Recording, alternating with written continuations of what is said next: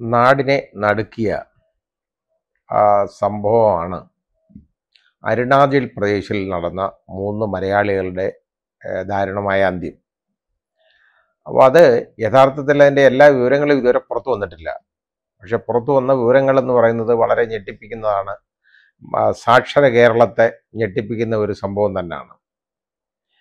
അതായത് ദുർവന്ത്രവാ ദുർബന്തർവാദം അതുപോലെ black magic എന്നൊക്കെ പേരിൽ അറിയപ്പെടുന്ന അതീന്ദ്രിയ ശക്തികൾ ഉണ്ടെന്നൊക്കെ പറയുന്നപ്പെടുന്ന ഈ അതിനെ സംബന്ധിച്ചുള്ള ഒരു സംഭവമാണ് ഇവിടെ അരങ്ങേറിയത്. അത് മൂന്ന് പേരാണ് മൂന്ന് പേരുടെ ജീവനാണ് അതിൽ നഷ്ടപ്പെടുന്നത്. ഒന്ന് നവീൻ തോമസ് എന്ന് പറയുന്ന കോട്ടയം മീനടം സ്വദേശി. അയാളുടെ ഭാര്യ ദേവി എന്ന് പറയുന്ന വട്ടിയൂർ തിരുവനന്തപുരം വട്ടിയൂർക്കാവുകാരി. അതോടൊപ്പം ആ അവരുടെ ഇവരുടെ രണ്ടുപേരുടെയും സുഹൃത്തായ ഒരു അധ്യാപിക ആര്യ നായർ എന്ന് പറയുന്ന വട്ടിയൂർക്കാവുകാരി തിരുവനന്തപുരത്തുകാരിയാണ്. ഇവരാണ്. ഇവർ മൂന്ന് പേരുമാണ്. അപ്പോൾ ഇവർ നേരത്തെ അതായത് ഈ നവീൻ തോമസും ദേവിയും അവരുടെ അവിടെ വട്ടിയൂർക്കാവിലെ കുടുംബ വീട്ടിൽ നിന്ന് മാറി അവർ പേരൂർക്കടയിൽ താമസിച്ചുകൊണ്ടിരിക്കുകയായിരുന്നു. ഇടയ്ക്കിടയ്ക്ക് കോട്ടയത്ത് അവർ ഈ മീനടത്തേക്ക് പോവും ഭർത്താവിന്റെ വീട്ടിലേക്കൊക്കെ പോവും. പിന്നെ അവർ കുറേ യാത്രകളുമൊക്കെ നടത്തും. അപ്പോൾ അവർ അതിൽ മാത്രമല്ല ഇവർ വളരെ ഉത്സുകരായിരുന്ന ഒരു കാര്യം എന്ന് പറയുന്നത് ഈ ബ്ലാക്ക് മാജിക്കിനെ സംബന്ധിച്ചുള്ള അവരുടെ പഠനങ്ങളും മറ്റുമാണ്. ദുർമന്ത്രവാദത്തെക്കുറിച്ച് അവരിങ്ങനെ പഠിച്ചുകൊണ്ടിരിക്കുക അത് വീട്ടുകാരൊക്കെ വിലക്കിയിട്ടുണ്ട് ഇവരുടെ കുടുംബത്തിൽ നിന്ന് പക്ഷേ ഇവരിത് അനുസ്യൂതം ഇങ്ങനെ തുടർന്നുകൊണ്ടിരുന്നു. രണ്ടുപേരുമായിട്ട് മാറി ഇങ്ങനെ താമസിക്കുമ്പോൾ സൗകര്യമുണ്ട്. ഇങ്ങനെയുള്ള കാര്യങ്ങളിലൊക്കെ വളരെ സൗകര്യമുണ്ട് നടക്കാനായിട്ട്. ആ രീതിയിൽ ഇവർ നടത്തിക്കൊണ്ടിരുന്നു എന്നുള്ളതാണ്. അഭ്യസ്ത വിദ്യരായ രണ്ടുപേര് അവർ അവരുടെ മകളെന്നുള്ള ബാനറിലാണ് ഈ ആര്യ നായരെയും കൂടെ കൊണ്ടുപോയി ഈ യഥാർത്ഥത്തിൽ കൊലപ്പെടുത്തി എന്നേ പറയാൻ പറ്റുള്ളൂ ആ രീതിയിൽ ചെയ്തേക്കുന്നത്. എന്തായാലും മൂന്ന് പേരും ഇന്ന് ജീവനോടില്ല. ഇരുപത്തെട്ടാം തീയതി അതായത് അവർ പോയി അവിടെ റൂം എടുക്കുകയാണ്. ഈ അരുണാചൽ പ്രദേശിലെ സീറോ എന്ന് പറയുന്ന സ്ഥലത്ത് കൂടുതൽ ആളുകളൊന്നും പോകാത്ത ഒരു ഉൾഗ്രാമമാണ് ഈ സീറോ എന്ന് പറയുന്ന സ്ഥലം അരുണാചൽ പ്രദേശിലെ. മാത്രമല്ല അരുണാചൽ പ്രദേശ് ഞാൻ ഇന്ത്യയിൽ സന്ദർശിക്കാത്ത ഏക സംസ്ഥാനം അരുണാചൽ പ്രദേശാണ്. പോകാൻ പറ്റിയില്ല. പിന്നെ ഒരിക്കൽ പോകാൻ നേരത്തെ പിന്നെ അവിടെ ചൈനക്കാരുമായിട്ടുള്ള പ്രശ്നമൊക്കെ മൂലം അത് സേഫ് അല്ല എന്ന് ഉള്ള റിപ്പോർട്ട് ഉള്ളതുകൊണ്ട് ഞാൻ എനിക്ക് അങ്ങോട്ട് പോകാൻ പറ്റിയില്ല. ഇറ്റാനഗറിൽ ഒന്ന് പോകണമെന്ന് വലിയ ആഗ്രഹമുണ്ട്. ഇനിയെങ്കിലും എപ്പോഴെങ്കിലും പോകാമെന്ന് വിചാരിക്കുകയാണ്. അവിടെ പോയിട്ടില്ല. അപ്പോൾ കാണാൻ വളരെ പ്രകൃതി രമണീയമായ സ്ഥലമാണ്. അപ്പോൾ ഇവർ മുമ്പ് ഈ നവീൻ തോമസും ദേവിയും കൂടെ അവിടെ സന്ദർശിച്ചിട്ടുണ്ട്. അരുണാൽ പ്രദേശിൽ പോയിട്ടുണ്ട്. അങ്ങനെ പോകണമെങ്കിൽ അവിടെ ചെല്ലണമെന്നുണ്ടെങ്കിൽ ഇവർക്ക് ഈ നെറ്റിലൂടെയൊക്കെ പരിചയപ്പെടുന്ന ഈ ബ്ലാക്ക് മാജിക്കിൽ ഉള്ള ദുർമന്ത്രവാദം നടത്തുന്ന എല്ലാ ഗ്രൂപ്പുകളുമായിട്ടുള്ള ബന്ധം. അത് മൂലമായിരിക്കാം അവിടെ പോയത് എന്നേ പറയാൻ പറ്റുള്ളൂ. അവിടുത്തെ പോലീസ് ഉദ്യോഗസ്ഥരെ അന്വേഷിച്ചിട്ട് അവരിപ്പോൾ കേരള പോലീസുമായിട്ട് ചേർന്ന് സഹകരിച്ച് ഇത് അന്വേഷണം നടത്തുകയാണ്. അവർ പറയുന്നത് ഇതേപോലെ ആ, ഒരു ഒരു ഫൈൻഡിങ് എന്ന് പറയുന്നത് പ്രാഥമികമായ അവരുടെ നിയമനം നിഗമനം എന്ന് പറയുന്നത് ഇത് ബ്ലാക്ക് മാജിക്കിൽ ദുർമന്ത്രവാദത്തിന്റെ ഒരു ഇരയായിട്ട് ഇവർ മാറിയതാണ് എന്നുള്ളതാണ്. അപ്പം മാത്രമല്ല ഇത് വളരെ കരുതിക്കൂട്ടിയുള്ള ഒരു രീതിയിലാണ് അവരുടെ ഈ മരണം അപ്പം സംഭവിച്ചേക്കുന്നത്. ഇതറിയാൻ വയ്യതല്ല കാരണം ഇവർ മൂന്ന് പേരും ഈ ബ്ലഡ് ക്ലോട്ട് ചെയ്യാതിരിക്കാനുള്ള ഗുളികകൾ കഴിച്ചിരുന്നു. അതിന്റെ ബാക്കി അതിന്റെ ബാലൻസ് അവിടെ ഉണ്ടായിരുന്നത് പിടിച്ചെടുത്തിട്ടുണ്ട് കണ്ടെടുത്തിട്ടുണ്ട്. അപ്പൊ ബ്ലഡ് ക്ലോട്ട് ചെയ്യാതിരിക്കാനുള്ള ഗുളികകൾ കഴിക്കുക. അതിനുശേഷം ഈ ബ്ലഡ് വെസൽസിൽ മുറിവേൽപ്പിക്കുക. പരിക്കേൽപ്പിച്ച് ബ്ലഡ് ഒഴുക്കി കളയുക ശരീരത്തിൽ നിന്ന്. അപ്പോൾ ബ്ലഡ് അപ്പോൾ അതേതാണ്ട് സാത്താൻ സേവ പോലാണ്. സാത്താനെ അതായത് സെയ്റ്റൻ സാത്താനെ പിന്നെ സേവിക്കുന്നതിന് തുല്യമാണ്. ആ രീതിയിലേക്കുള്ള ഒരു കാഴ്ചപ്പാടാണ് മനുഷ്യ ശരീരത്തിൽ നിന്ന് രക്തമൊക്കെ ഒഴുക്കി കളയുക എന്നുള്ള അവരുടെ ഒരു ഇടപാട് അപ്പൊ അങ്ങനെ ഈ ഈ ഇവരെ രണ്ടുപേരുടെയും അതായത് നവീൻ തോമസും ദേവിയുടെയും കൈത്തണ്ട മുറിച്ചു റേഡിയൽ ആർട്ടറി അത് മുറിച്ച് അതിൽ നിന്ന് ബ്ലഡ് ഇങ്ങനെ പോയിക്കൊണ്ടിരുന്നു. അത് പെട്ടെന്ന് ബ്ലഡ് മുഴുവൻ പോകും ശരീരത്തിൽ നിന്ന് റേഡിയൽ ആർട്ടറി മുറിച്ചു കഴിഞ്ഞാൽ.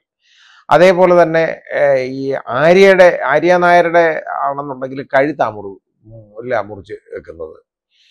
ബ്ലഡ് മുഴുവൻ പെട്ടെന്ന് പോകും അതിന്റെ മരണം പെട്ടെന്ന് കിടക്കുകയും ചെയ്യും. ആ രീതിയിൽ ഉള്ള മരണമാണ് അവിടെ ഉണ്ടായിരിക്കുന്നത്. ഇരുപത്തിയെട്ടാം തീയതി അവർ മുറിയെടുക്കുന്നു. അവർ അത് കഴിഞ്ഞ് ഈസ്റ്ററിന്റെ അന്ന് വിളിച്ചിട്ട് ഒരു മുറി തുറന്നില്ല. ആ മുറി അടച്ചേക്കാണ്. അപ്പോൾ അവർ സംശയമൊക്കെ തോന്നിയെങ്കിലും അവർ രണ്ടാം തീയതി വരെ നോക്കിയിരുന്നു. രണ്ടാം തീയതിയാണ് ഏപ്രിൽ രണ്ടാം തീയതിയാണ് ഈ മുറി ബലമായിട്ട് തള്ളി തുറന്നപ്പോൾ കഥ അങ്ങ് തുറന്നു. അപ്പോൾ അന്നേരമാണ് ഇവരുടെയൊക്കെ മരണം. സ്വീകരിക്കുന്നത്. അപ്പോഴത്തേക്ക് രണ്ട് ദിവസമായി മരിച്ചിട്ട്.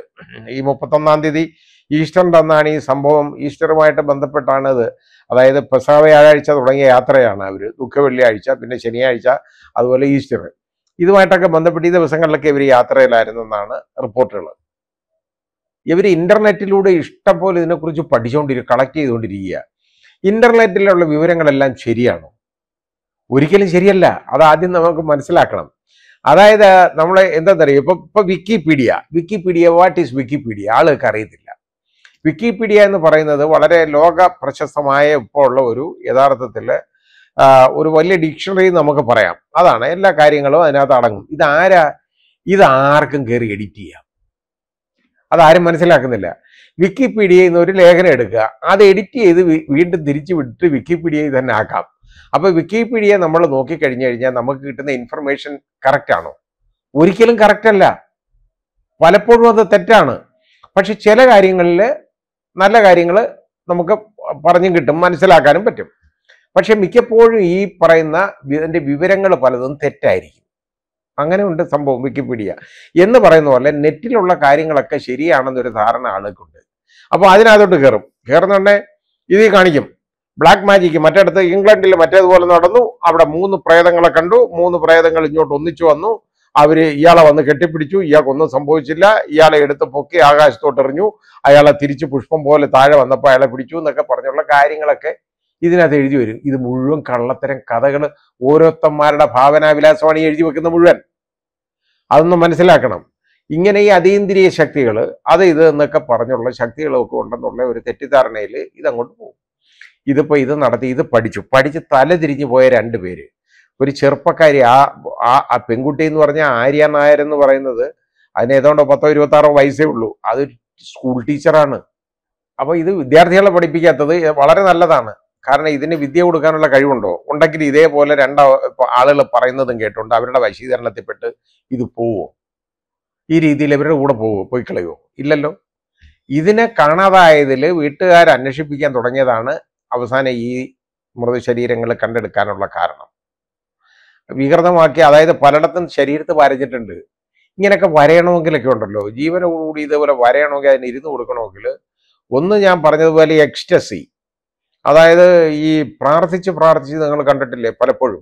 നമ്മളിങ്ങനെ ഈ വെളിച്ചപ്പാട് തുള്ളുന്ന പോലെയും അതായത് മുടിയെടുത്ത ആളുകൾ പെണ്ണുങ്ങൾ ചുഴറ്റി ഇതുപോലെയൊക്കെ ഇരുന്ന് കഴിഞ്ഞാൽ ഒരു സമയം കഴിയുമ്പോൾ അത് യഥാർത്ഥത്തിൽ അവരുടെ മനസ്സ് കൈവിട്ടു പോകും.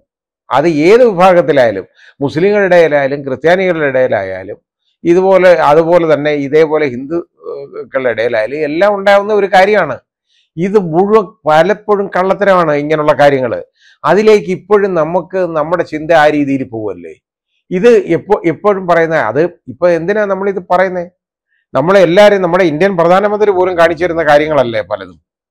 നമുക്ക് കാണാൻ നമ്മളെ അതായത് ഒരു വിശ്വാസം എന്ന് പറയുന്നത് അത്യാവശ്യത്തിന് ആയിക്കോട്ടെ നല്ല കാര്യത്തിലേക്ക് നയിക്കുമെങ്കിൽ നല്ലതായിക്കോട്ടെ.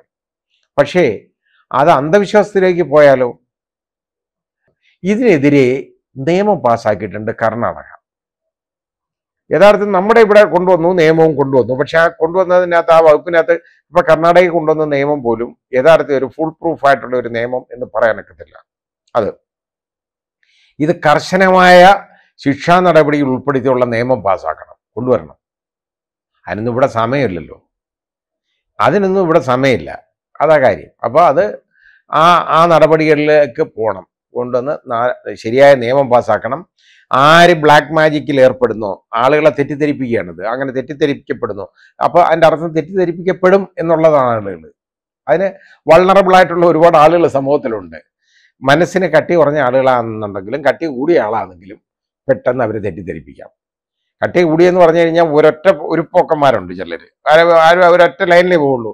ആര് പറഞ്ഞാലും അവരെ കറക്റ്റ് ചെയ്യാൻ ഒക്കത്തില്ല. പക്ഷേ അവരെടുത്ത് ഇതുപോലെ പറഞ്ഞിട്ട് അവർക്ക് ഇങ്ങനെ ഒരു വിശ്വാസം അങ്ങ് തോന്നി തുടങ്ങിയാൽ അവർ ആ ലൈനിലേക്ക് അങ്ങ് പോകും അത് തെറ്റാന്ന് പറഞ്ഞു കഴിഞ്ഞാൽ അവർ നമ്മളെ കൊല്ലാൻ നിൽക്കും. അങ്ങനെയുള്ള ഒരാൾ ഒരുപാട് ആളുകളുണ്ട്. പിന്നെ മനസ്സിന് കട്ടി കുറഞ്ഞ ആളുകൾ എന്ന് പറഞ്ഞാൽ ആര് പറഞ്ഞാലും കേൾക്കുന്ന ആളുകൾ ഒരുപാട് പേരുണ്ട്. അങ്ങനെയുള്ള ആളുകൾ അവരെയും തെറ്റിദ്ധരിപ്പിക്കാൻ എളുപ്പമാണ്. കാരണം അവരെ എങ്ങോട്ടായാലും ചാഞ്ഞു പോയിക്കോളും. ഇതാ നല്ലതെന്ന് പറഞ്ഞാൽ ഇതാ നല്ലതല്ലേ? എന്നാൽ പിന്നെ അങ്ങനെ ആവട്ടെ. എന്നുള്ള രീതിയിൽ അവർ പോകുന്നവരുണ്ട്. അപ്പോൾ ഇത് ഇവരെ ഇവരെ ഇങ്ങനെ തെറ്റിദ്ധരിപ്പിക്കുന്ന ആളുകളെ ഒക്കെ അവർക്ക് ഒരു കൂച്ചുവേലം കിടാനും ഇതുപോലെ ഈ സമൂഹത്തിൽ ഇന്ന് ഇതൊന്ന് തുടച്ചു നീക്കാനും ആയിട്ട് നിർബന്ധമായിട്ടും വേണ്ടതെന്ന ശരിയായ നിന്ന് നിയമ പ്രമാണങ്ങളാണ് ഇതുപോലുള്ള സ്ഥാപനങ്ങൾ അന്ധവിശ്വാസം പ്രചരിപ്പിക്കുന്ന സ്ഥാപനങ്ങൾ അടച്ചുപൂട്ടിക്കണം. അടച്ചുപൂട്ടണം. അവരെ എല്ലാം തുറുങ്കിനെ അടയ്ക്കണം. പിടിച്ച്. അതാ ആദ്യം ചെയ്യേണ്ടത്. അത് ഏത് വർഗമായാലും അത് മുസ്ലിയാക്കന്മാരായാലും പാതിരിമാരായാലും അതേപോലെ തന്നെ പൂജാരിമാരായാലും ഒരു വ്യത്യാസവും ഇല്ല. എല്ലാത്തിനെയും പിടിക്കണം. ഇങ്ങനെയുള്ളതിനെല്ലാം കള്ളമായിട്ട് ഇതുപോലൊക്കെ ചെയ്യുന്ന ബ്ലാക്ക് മാജിക് നടത്തുക അന്ധവിശ്വാസം പ്രച- പ്രചരിപ്പിക്കുക അന്ധവിശ്വാസം മൂലം ആളുകളെ തെറ്റിദ്ധരിപ്പിക്കുക ഈ ചെയ്യുന്നവരെയെല്ലാം പിടികൂടണം. ഇല്ലെങ്കിൽ ഈ സമൂഹത്തിന് ഒരിക്കലും മോചനം ഉണ്ടാവത്തില്ല. ഈ അന്ധകാരത്തിൽ നിന്നും അനാചാര അത- അതായത് ഈ അന്ധവിശ്വാസങ്ങളിൽ നിന്നും അനാചാരങ്ങളിൽ നിന്നും മുക്തമാകാതെ നമുക്കൊരിക്കലും സ്വാതന്ത്ര്യം കിട്ടിയെന്ന് പറയാനൊക്കത്തില്ല.